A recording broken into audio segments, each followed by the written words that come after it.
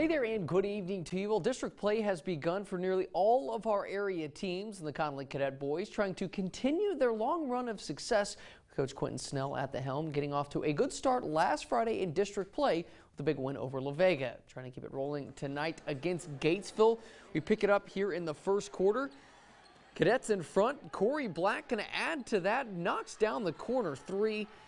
Puts Connally out to the seven-point lead at that point. Gatesville trying to escape the full court press, trying to keep pace in this one.